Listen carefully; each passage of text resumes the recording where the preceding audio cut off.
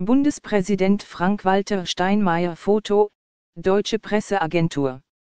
Der Bundespräsident lädt zum Gespräch und will's wissen, wie kompromissfähig sind Union und SPD. Ein Kommentar zum sich ziehen lassen und locken. Die Abrüstungsverhandlungen gehen weiter.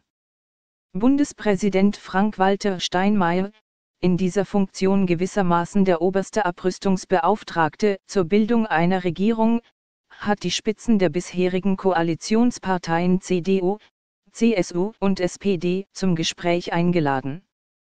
Ins Bellevue, denn es geht um die Aussichten für eine Neuauflage. Dieser Präsident schöpft die Möglichkeiten seines Amts wirklich voll aus. So viel Bewegung hat er schon einmal erreicht, seine Unterredung mit dem Genossen Martin Schulz ist danach acht Stunden in der SPD-Führung erörtert worden.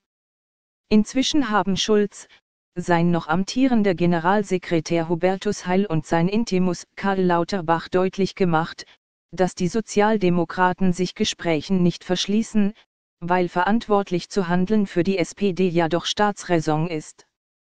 Dass sie damit zugleich deutlich werden lassen, wie sich die SPD gerade von ihrem strikten Nein verabschiedet, geschenkt. Denn darum geht es nicht mehr in erster Linie. Es geht vielmehr um die Existenz der Partei. Längst bricht sich die Erkenntnis Bahn, dass Neuwahlen weitere Verheerungen anrichten können, in Gesamtostdeutschland, wo die SPD sowieso schon arg schwächelt, aber auch im Westen und im Süden, kurz, eigentlich überall. Da müssen die 20 Prozent von der letzten Wahl nicht das letzte Wort gewesen sein. Es kann immer noch schlimmer kommen. Denn die SPD ist ohne Thema und ohne Leute, die Partei hat gegenwärtig keine Bundesgeschäftsführung, was eine Kampagne schwierig macht, außerdem ist der Generalsekretär auf dem Absprung, und der neue, Lars Klingbeil, muss erst einmal im Amt ankommen. Dennoch wird es sich ein bisschen ziehen, wird sich die SPD auch ziehen lassen wollen. Darauf lässt schließen, was Parteivize Manuela Schwesig, die erste, die sich nach der Wahl für die Oppositionsrolle stark gemacht hat, sagt, einen Automatismus für den Gang in die Regierung gibt es nicht. Allerdings sind die, die für das Tolerieren einer Minderheitsregierung eintreten, in der Minderheit. In Niedersachsen zum Beispiel, wo die SPD es eben hätte versuchen können, hat sie die Große Koalition vorgezogen. Immerhin gibt es schon Angebote der Union.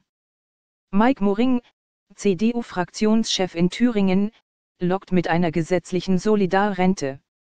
Außerdem könnte es eine deutliche steuerliche Entlastung der Gering- und Mittelverdiener geben, dafür eine größere Beanspruchung der Gutverdiener ab 100.000 Euro. Im Bereich der Familienpolitik ginge es um ein Ende der Kita-Gebühren und die Einführung eines Familiengelds. Auch bei der Pflege, zum Schluss ein großes Wahlkampfthema und einer der größten sozialen Missstände im Land, ließe sich etwas Großes vereinbaren, der Rechtsanspruch auf einen Pflegeplatz. Zum Beispiel.